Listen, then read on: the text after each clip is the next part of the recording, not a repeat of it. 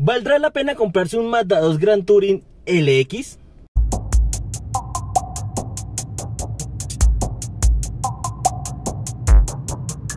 Mazda 2 Grand Touring 2022, un carro muy bonito que da una muy buena sensación de confort y si el anterior Mazda 2 era bueno, este es muchísimo mejor.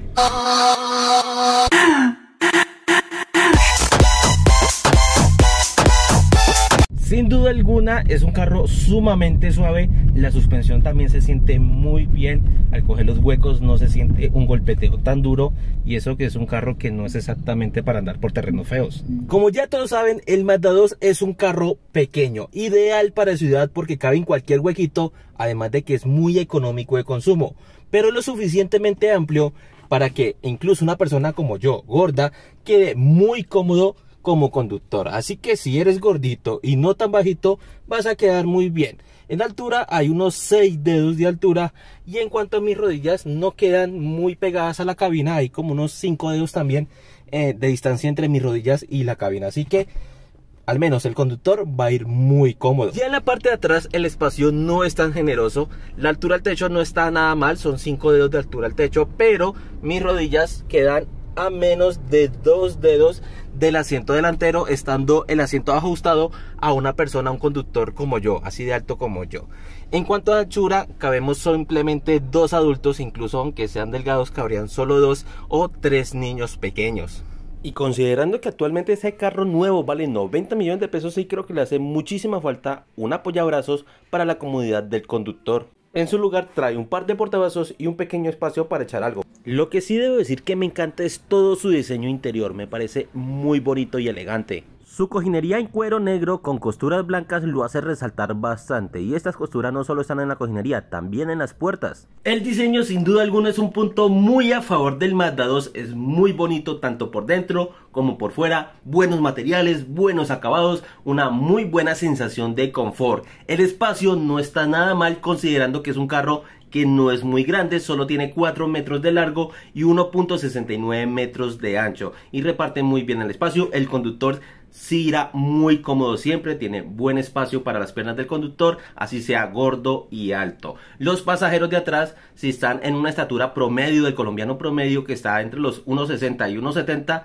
también irá muy cómodo, no irá apretado, ni en anchura, ni en altura, ni en largura. Eso sí, si ya son un poco más altos, si van a sufrir un poco, hay espacio solo para dos personas adultas, tres irían ya muy apretadas, tres niños pequeños irían muy bien en este carro. En cuanto al baúl, que es una de las cosas más importantes para mí por el tema de mi familia, contamos con una capacidad de 220 litros, lo cual no está nada mal. Y al levantar la alfombra nos encontramos con lo que es la llanta de repuesto. El Mazda 2 cuenta con una dirección asistida eléctricamente que se regula según la velocidad y las revoluciones del motor, lo que mejora bastante la sensación a la hora de conducirlo me gusta que hace el cambio de marchas de forma muy suave. No se siente así como que uh, uh, uh. no, es bacano, chévere por ese lado. La transmisión de este carro es una Sky Active Drive de 6 velocidades. En la versión Grand Touring LX también encontramos lo que son las paletas acá en el volante para hacer los cambios de marcha. En lo personal, no sé, nunca le he visto la utilidad. no sé, a mí me encantan los carros automáticos y el chiste de tener un automático es precisamente no tener esto, pero pues hay algunas personas que sí les gusta y es un añadido de la versión LX. Al igual que la pantalla activa de conducción que nos sirve como una especie de velocímetro. Por acá nos encontramos con un motor Sky Aptiv de 1.5 litros que genera 108 caballos de fuerza y 137 Nm de torque, que nos permite conseguir un 0 a 100 en 11 segundos y alcanzar una velocidad máxima de 170 km por hora. En cuanto al consumo, te brinda en ciudad entre 50 y 55 kilómetros por galón y en carretera te puede hacer entre 65 y 70 kilómetros por galón. Así que el desempeño y el rendimiento es un segundo punto muy a favor del Mazda 2. Sus sillas son manuales y teniendo en cuenta su precio considero que al menos la del conductor debería ser eléctrica. Después de todo es un carro de 90 millones de pesos que sí justificaría y mucho su precio es la seguridad, la cual es excelente. 6 bolsas de aire, una estructura del carro muy buena con barras laterales que ayudan a la hora de un choque lateral. También cuenta con lo que es control de tracción, control de estabilidad, asistente de arranque en pendiente. monitoreo de punto ciego y alerta de tráfico cruzado. Al igual que cámara de reversa, estas últimas tres cosas son exclusivas de la versión LX. En cuanto al resto de especificaciones tenemos acá apertura de puertas sin llave en la mano y también con este botón podemos hacer lo que es bloquear y desbloquear el carro además de retraer o desplegar los espejos de forma eléctrica. Cosa que también podemos hacer con este botón que encontramos en la puerta del conductor. De resto son los comandos de los vidrios eléctricos que son de un solo toque tanto para subir como para bajar, también el joystick para cuadrar los retrovisores y el bloqueo de las ventanas. También tenemos un hermoso volante forrado en cuero con costuras que lo hace ver muy bien, muy elegante. Con algunos detalles metalizados que contrastan muy bien. También encontramos lo que son los mandos en el timón para manejar el infoentretenimiento además del control crucero. Por este lado están las entradas USB salida de 12 voltios y cargador inalámbrico para el celular, exclusivo de la versión LX. Con este botón manejamos lo que es el modo Sport para andar más rápido y más suave, sobre todo cuando vamos en carretera. También encontramos aire acondicionado automático de una sola zona con múltiples ventilas que enfrían muy rápido. En equipamiento también se llevaría otro puntico de su carro muy bien equipado, bastante completo, siendo lo único que no me gusta como usuario Android es que este solo viene para conectarse inalámbricamente con los iPhone, pero con los Android sí toca con cable.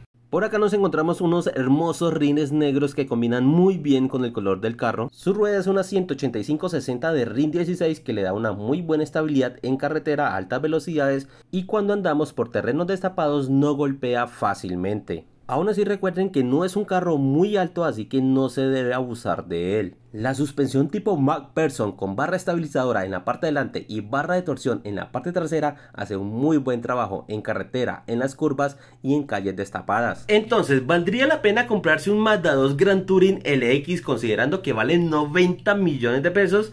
Y la verdad es que sí, es un carro muy bien equipado, con excelente seguridad, muy buen desempeño, un rendimiento inmejorable. La verdad es una de las cosas que más me gusta, que es muy económico de consumo, además de que necesita solo gasolina corriente.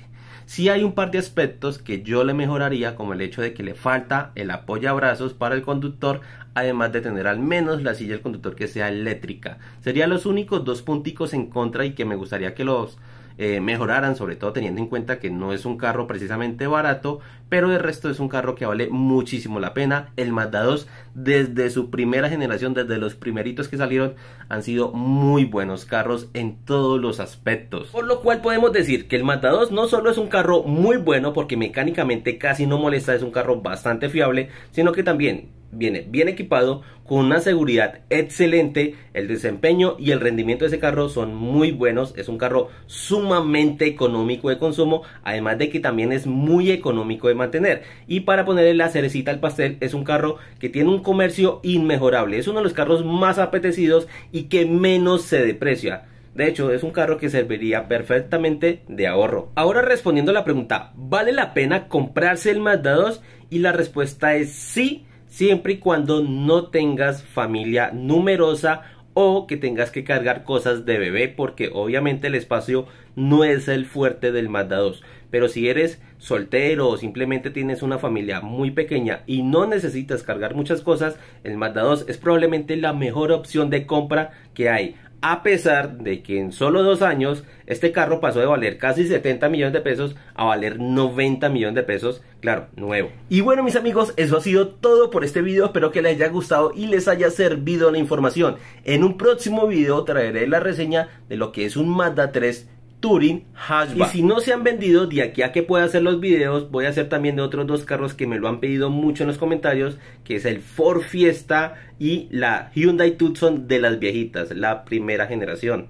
Recuerden también que estoy subiendo una serie de videos sobre los traspasos, sobre todo lo que deben de revisar a la hora de que le entreguen los documentos de traspaso para que no les den en la cabeza, para que no les den papeles falsos, para que ustedes sepan identificarlos o simplemente para que no vayan a diligenciar mal estos documentos. Esto es sumamente importante. Es tan importante como saber si un carro es bueno o no. Es tan importante como la revisión mecánica de un carro. Lamentablemente eh, estos videos han sido de los menos vistos que he subido recientemente. Es algo que me entristece mucho porque realmente considero que esto es sumamente importante. A propósito, le quiero agradecer a don Carlos que muy amablemente me ofreció este carro, su carro, para poder hacer este video. Muchísimas gracias. Ahora sí, muchas gracias por verme y nos vemos en una próxima.